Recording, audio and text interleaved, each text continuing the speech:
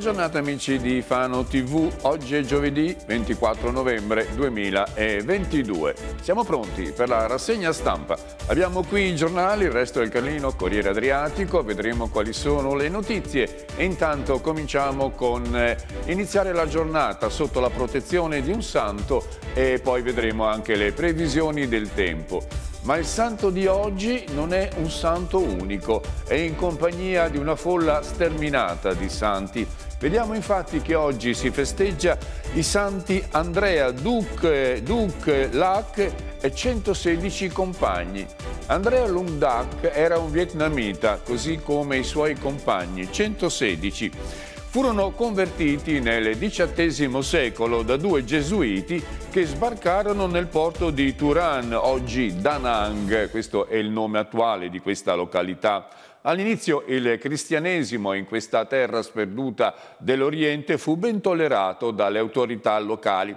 Poi cominciarono a, così, a, a, ad, ad, accadere delle cose un po' strane. Per esempio il paese fu eh, devastato da una grande siccità e di questo furono incolpati proprio i cristiani. Allora cominciarono le persecuzioni, persecuzioni poi che dilagarono in tutto il paese e assunsero delle dimensioni veramente molto molto drammatiche. Pensate che furono uccise 130.000 vittime e tra queste appunto Andrea Dung Lag e 116 compagni che poi furono canonizzati e ora sono posti sugli altari. Questo è per quanto riguarda uh, la Chiesa di oggi. Oggi vediamo poi le previsioni del tempo. Vediamo che il tempo migliora rispetto alla tempesta di ieri. Oggi dovrebbe essere bel tempo su tutta la regione, con sole splendente per l'intera giornata. I venti saranno al mattino moderati e proverranno da ovest al pomeriggio invece da nord-nord-ovest il mare è poco mosso, il vento è calato e le temperature si aggireranno dai 7 ai 14 gradi. Il sole sta per sorgere alle 7.13 e tramonterà alle 16.36. Però vediamo che i giorni scorsi c'è stata una violenta eh, mareggiata, lo vedremo poi anche nella nostra rassegna stampa, ed ora diamo un'occhiata a come la situazione si è rasserenata con una immagine della spiaggia di Numana. Eccola uh, qui in quello che ci ritrae la webcam. Abbiamo perso accidenti, era una bella immagine, ve la descrivo, insomma un'immagine di un mare tranquillo che così cammina piano piano verso la spiaggia, eh, evolvendo le sue onde e c'era all'orizzonte un bel colore, era l'alba che stava per sorgere, vabbè comunque ve l'ho descritto in malo modo, ma comunque l'immagine avrebbe reso un effetto migliore. Allora apriamo il giornale a partire dal Corriere Adriatico e vediamo l'apertura di oggi. Oggi si parla di una conferenza stampa che si è svolta ieri alla Fondazione Carifano dove sono stati resi noti i beneficiari di un bando detto bando della povertà. Sono delle provvidenze che la, che la Fondazione assegna alle associazioni di volontariato per eh, così sostenere i loro progetti. Per garantire aiuti a 700 famiglie, la Caritas si aggiudica 71.000 euro. Questa è la cifra data alla Caritas dalla Fondazione in un totale di 120.000 euro. Insomma, la fetta più grossa è stata data alla Caritas anche perché eh, il panorama degli aiuti della Caritas non si limita soltanto a Fano, ma comprende tutto l'ambito sociale e quindi le famiglie sono molto numerose. Vediamo anche quali sono gli altri beneficiari. Segue la mensa di San Paterniano, alla quale sono stati destinati 10.000 euro. E la mensa in questi ultimi tempi è dovuta aumentare in modo particolare i pasti perché da 80 sono passati a 300. Pensate quanto la crisi influisca sulla situazione economica delle famiglie. E poi abbiamo eh, l'associazione T41B che si occupa dell'inserimento lavorativo dei giovani disabili. E questa associazione ha avuto un importo di 8.000 euro. Vediamo poi la Polis con 7.000 eh, che verranno utilizzati per costruire una rete di centri estivi in cui inserire i bambini più fragili. L'associazione Utopia è stata finanziata con 5.000 euro. A Opera, la cooperativa sociale, sono stati assegnati 4.000 euro. La stessa cifra è stata attribuita al centro aiuto alla vita che si occupa del sostegno alla maternità.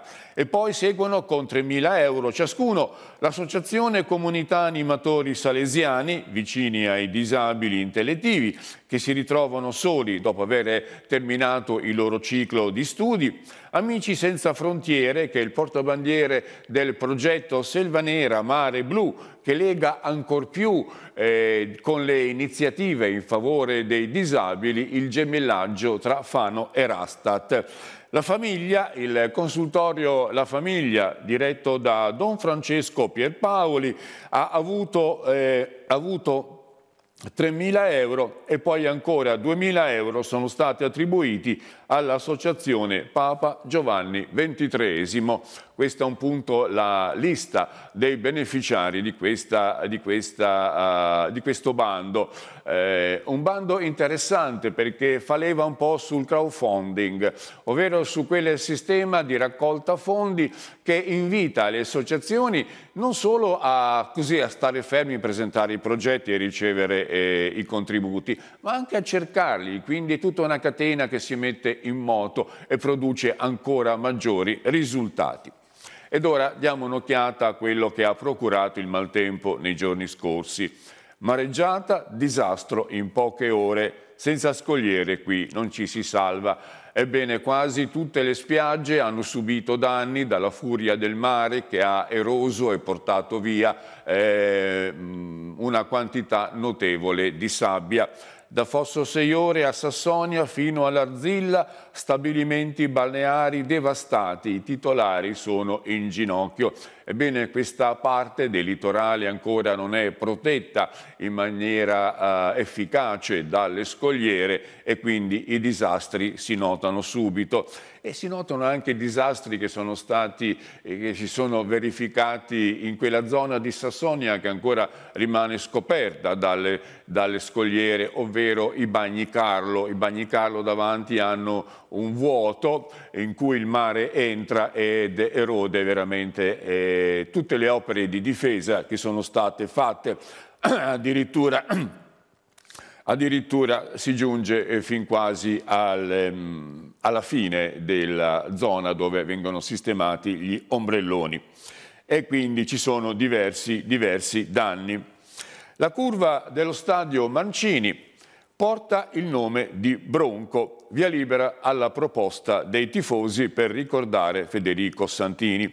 Porterà il nome dunque di questo appassionato supporter del Granata, universalmente conosciuto come Bronco, la curva dello stadio Mancini. È stata avvallata infatti dall'ufficio toponomastica del comune di Fano. L'iniziativa lanciata attraverso una petizione, eh, questa mh, iniziativa poi è stata presentata alla commissione, alla commissione eh, toponomastica dal consigliere comunale Francesco Panaroni.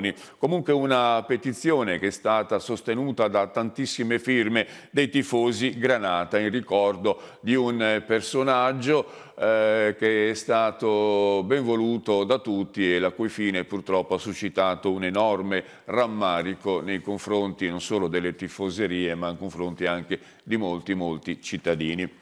Giriamo la pagina e siamo a Fossombrone, nella pagina della Valmetauro del Corriere Adriatico e qui si parla di cronaca. Si parla di cronaca perché a Fossombrone eh, sta seminando veramente eh, ansia e problemi una baby gang, una baby gang che rapina i propri coetanei. In quattro o cinque, tutti giovanissimi, con eh, cappuccio e a volto coperto, quindi ben eh, intenzionati, hanno circondato mio figlio, racconta una mamma, e, hanno, lo, lo hanno minacciato con la punta di un bastone alla gola addirittura e si sono fatti consegnare soldi e telefonino e poi si sono dileguati per riportare lo smartphone che avrebbe tracciato la loro fuga. È il racconto angosciato di una mamma che per ovvi motivi resta anonima, ma poi c'è anche un altro racconto di un altro genitore, il quale dice eh, che dopo le minacce che sono state compiute nei confronti del mio figlio, eh, hanno, gli hanno rubato il booster. Eh, ehm, e poi lo hanno ritrovato. Comunque è stato sempre un atto piuttosto criminoso che eh, suscita allarme e apprensione e quindi gli inquirenti si sono messi sulle tracce di questa baby gang. Le indagini dei carabinieri eh, ancora eh, non hanno ottenuto risultati ma si pensa che non debbano eh, così mancare di molto eh, il risultato delle indagini perché qualcosa è stato già individuato. Ed ora parliamo della Fano Grosseto, della Fano Grosseto, questa eterna incompiuta. Ebbene, le ultime dichiarazioni che sono giunte dal governo non sono affatto confortabili perché poi questa Fano Grosseto non è stata posta tra le priorità delle infrastrutture che eh, vengono realizzate, però insomma ora si cerca di mettere una pezza a quanto dichiarato. Vediamo il titolo, un equivoco sarebbero le parole di Salvini. Per il Ministro mancano soldi e progetti, ecco perché non è stata posta sulle priorità eh, la Fano Grosseto, lo dice l'assessore regionale alle infrastrutture che si è battuto per la realizzazione di questa arteria, Francesco Baldelli, durante un incontro con Amerigo Varotti della Confcommercio, anche l'associazione ovviamente è molto interessata alla realizzazione di questa strada. Che cosa occorre, occorre che si sblocchi innanzitutto la partita della, uh, della Galleria della Guinza. Entro il 31 dicembre ci dovrebbe essere la consegna dei progetti alternativi alla, uh, attualmente al, mh, alla Galleria esistente che non viene considerata eh, utile e, e, adatta al passaggio del traffico. L'ANAS ha affidato il compito ai progettisti sulla richiesta eh, della, giunta, della giunta regionale e da lì si valuterà quale progetto scegliere per poi sottoporlo all'approvazione delle commissioni gallerie del governo. Insomma ancora l'iter burocratico è in itinere e chissà quanto ci vorrà perché venga uh, uh, completato, ma non solo l'iter burocratico, perché poi mancano anche le risorse, quindi una volta eh, terminato tutti i progetti e tutti i passaggi tra un eh, livello all'altro occorrerà trovare le risorse, quindi chissà quanto avremo la Fano Grosseto.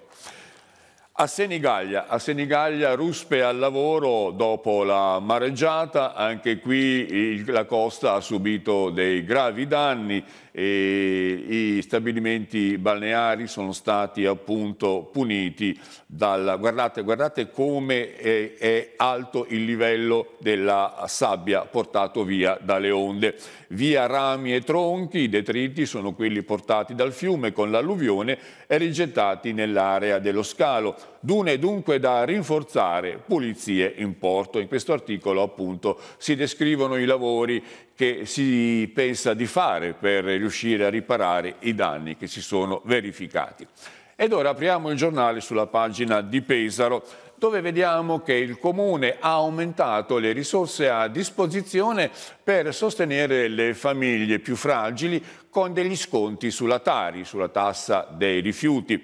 Tari, mezzo milione di fondi, sosterremo 2.350 famiglie, hanno detto eh, gli amministratori pesaresi. Gli stanziamenti dunque sono più che raddoppiati, il Comune amplia l'operazione per aiutare chi è in difficoltà. Ebbene, vediamo quali sono i particolari di questa manovra. Il contributo Tari passa da 230.000 euro a 470.000, questo è l'ammontare delle risorse che il Comune mette a disposizione. Ebbene, di questi contributi ne beneficeranno 2.350 famiglie, a cui l'amministrazione comunale pagherà i tre quarti della bolletta. Beh, insomma, un bel taglio. Tre i livelli di aiuto previsti a secondo poi le fasce di reddito, 140 euro, eh, 230 e 310 euro, quelli più fragili. In totale hanno presentato domanda 2.600 utenti, il 90% dei respinti è già stato informato, sono 250 in tutto. E poi anche il Comune ha bisogno di sostegno perché il Comune ha subito ugualmente dei danni, come tutte le famiglie, per l'aumento del costo dell'energia. Ebbene, l'ammanco ammonta a 3 milioni ed ora qui Nobili afferma eh, la manovra, descrive la manovra che viene portata all'approvazione del Consiglio Comunale, la seduta è prevista per il 28 novembre, salvaguardando i servizi sociali, la scuola e la cultura. Il caro bollette dunque colpisce anche il Comune di Pesaro, ma la Giunta tampona con una manovra da oltre 3 milioni che, approvata martedì in Giunta, arriverà appunto in Consiglio Comunale. Qua viene ovviamente descritta. Le nutrie. Le nutrie sono animali eh, simpatici per alcuni e invece mm, un po' da allontanare per altri. Troppe nutrie, ebbene le nutrie sono molto prolifiche e quando conquistano un territorio veramente lo conquistano anche con il numero dei loro esemplari che un po' procurano dei danni perché questi esemplari hanno bisogno di alimentazione e così ne soffre anche l'agricoltura. Le nutrie mangiano veramente di tutto. Nutrie eh, troppe e quindi il comune di Pesaro corre ai ripari e così e dissemina le, tra le, le, trappole e quindi largo ai trapper, gabbie per catturare le colonie, un piano di contenimento per la foce del Foglia, il Miralfiore e case bruciate. E questi sono un po' i luoghi dove verranno sistemate queste trappole. Però l'articolo poi non dice che fine faranno gli animali che verranno catturati, se verranno così eliminati oppure verranno liberati da un'altra parte e se vengono liberati da un'altra parte sarà un altro territorio da colonizzare per questi animaletti. Ora veniamo alla cronaca, non si rassegna dall'addio e c'è una donna che perseguita il suo ex ha inviato 7500 messaggi. Si tratta di una stalker, così viene definita, è una 53enne che ha, ha proferito minacce anche alla madre del suo ex. La relazione è il classico, la relazione è finita, lei minaccia l'ex e addirittura anche la madre telefonate, messaggi, messaggi ad ogni ora del giorno e della notte, deve rispondere dell'accusa di atti persecutori. Si tratta di una 53enne che non accettava la fine della storia con un 49enne pesarese. Così per spasmodica volontà di possesso ha iniziato a inviare messaggi all'ex a tutte le ore del giorno e della notte. Beh, il numero è molto considerevole, 7.500 messaggi. Ebbene, deve rispondere dell'accusa di atti persecutori, anche perché la famiglia ha cambiato le abitudini di vita, guardando sempre più con circospezione, insomma, quello che accade attorno a lei eh, si è presentata in tribunale e poi l'udienza è stata aggiornata, ancora se ne avrà un'altra data da destinarsi. Vediamo la pagina di Urbino. Sul Corriere Adriatico si parla di Palazzo Albani, Palazzo Albani nuovo e casa cantoniera. Dal sindaco due proposte inaccettabili. Ebbene, il sindaco Gambini avrebbe una proposta pronta per i locali alternativi a quelli di via Oddi, eh, dove ha sede eh, Capellini e Ampi, ma per i presidenti gli spazi sono insufficienti per ospitare tutto il materiale e quindi non vengono accettate queste soluzioni alternative presentate dal sindaco Gambini. Vediamo ora il resto del Carlino sulla pagina, sulla pagina di Fano. Eccola qua, l'apertura è dedicata a, ad una notizia a, importante, quella dei parcheggi in Viale Dante Alighieri. Viale Dante Alighieri è un lungo viale eh, nei pressi del litorale fanese, nei pressi di Sassonia, eh, che è parallelo a Viale Adriatico. È importante perché mentre Viale Adriatico ha dei parcheggi a pagamento, eh, ancora Viale Dante Alighieri ha dei parcheggi liberi, però il numero dei posti macchina è importante per contenere tutte le necessità sia dei residenti sia di coloro che poi frequentano il litorale. Vediamo il titolo. TIR e residenti, convivenza possibile, ma occorre tagliare 30 posti auto. Sì, saranno 30 i posti auto che verranno sacrificati, ma sembra che il progetto abbia ottenuto la soddisfazione dei residenti. Finalmente trovata una soluzione per Viale Dante Alighieri. I parcheggi resteranno solo sul lato mare. Al posto di quelli sul lato monte sarà realizzata una pista ciclabile verso le case, un camminamento pedonale. Quindi avremo camminamento pedonale, pista ciclabile, parcheggi e la careggiata dove transiteranno le auto. Sul lato mare i parcheggi rimarranno a spina di pesce mentre spariranno, appunto una trentina, sul lato monte. Al loro posto sarà realizzata una pista ciclabile in direzione Ancona e a fianco, più verso le case, un camminamento pedonale. Oggi la proposta dovrebbe essere approvata in giunta e se non ci saranno obiezioni l'intervento potrebbe essere realizzato addirittura eh, nel mese di dicembre. Non è un intervento costoso, costerà circa 10.000 euro, non ci saranno eh, opere eh, strutturali da realizzare e la pista ciclabile sarà disegnata soltanto con una eh, riga orizzontale appunto per, sul, sull'asfalto, quindi non ci saranno grandi lavori da attuare. Vedremo poi se questo eh, se questo progetto funzionerà. Anche il resto del Carlino oh, descrive quello che eh, si è detto nella conferenza stampa convocata dalla Fondazione Carifano nella giornata di ieri in merito all'esito del bando sulla povertà. Lotta alla povertà sotto ogni forma, a 11 associazioni vanno 120 mila euro. E poi vediamo che questa sera ci sarà un interessante incontro al Pino Bar eh, convocato dai partiti di minoranza e ci sarà anche il sindacato del SIULP e degli agenti di polizia. Si parlerà di ordine pubblico dopo quanto accaduto, appunto, vi ricordate, la rissa di Via Nolfi nei pressi del Bar dello Sport. E vediamo anche a fondo pagina l'articolo che riguarda la stalker di una 53enne di Rimini appunto che eh, perseguitava il suo ex con minacce di morte, pedinamenti e messaggi a tutte le ore del giorno. Parliamo qui di politica. Parliamo qui di politica perché i partiti cominciano a guardare alle elezioni del 2014 e si cominciano ad intrecciare relazioni, così esprimere abboccamenti, valutare un po' la situazione. Né con la destra, ma nemmeno con il Partito Democratico, ora i 5 Stelle guardano tutto a sinistra. Prove di alleanza verso le amministrative del 2023. Ruggeri, democratici troppo frantumati mi sembra che non ci siano le amministrative nel 2023, ma non vorrei sbagliarmi, insomma, mi sembra che siano um, nell'anno successivo.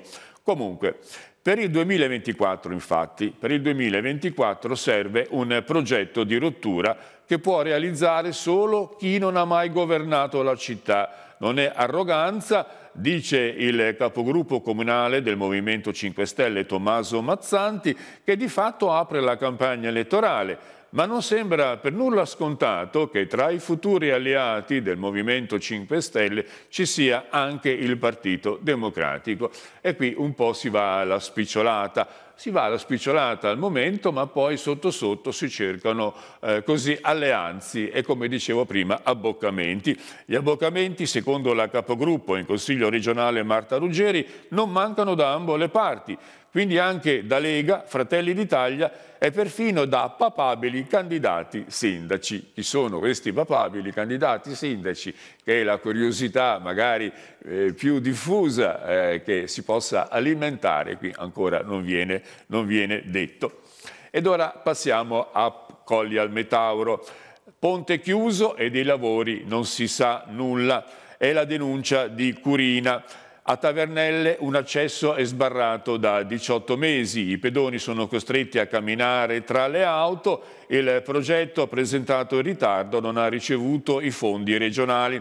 Anche un secondo bando non è andato a buon fine e quindi si sollecita la, la riapertura di questo passaggio che è molto importante per la zona in cui si trova.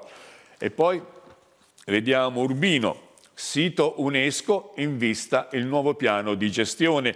Il Ministero ha fatto il punto sulla conservazione. Nella nuova stesura sarà predisposta anche una guida pratica sul da farsi. Ebbene, l'amministrazione comunale di Urbino accelera la stesura dell'aggiornamento del piano di gestione del sito UNESCO e incontra Urbino Maria Pianigiani, che è una delle cinque referenti del Ministero della Cultura per la Convenzione sulla, sulla eh, protezione del patrimonio mondiale culturale e naturale di cui cui Urbino fa parte con grande rilevanza e grande valore. Sanitari in rivolta per i rinnovi contrattuali, i dipendenti precari temono di non vedere confermata l'assunzione. Questo è un tema eh, che i giornali ripropongono da alcuni giorni, i precari sono ormai eh, giunti alla fine, in scadenza del loro contratto e temono appunto per il loro posto di lavoro. Chi sarà in servizio dovrà sobbarcarsi orari insostenibili, afferma appunto il giornale. Vediamo anche una notizia che riguarda Pesaro sulla, sul, il, sul resto del Carlino. Siamo ormai in scadenza. Eccola qua, è la notizia che riguarda la Tari sul eh, resto del Carlino. Il bonus Tari va a 2.350 famiglie, trovati 240.000 euro in più. E con questa notizia terminiamo la nostra rassegna stampa. Grazie per l'ascolto, io vi do appuntamento come sempre a domani alle ore 7 e per le notizie del giorno alle ore 20.30 di questa sera con Occhio alla Notizia, il giornale di Fano TV. Grazie per l'ascolto, a risentirci.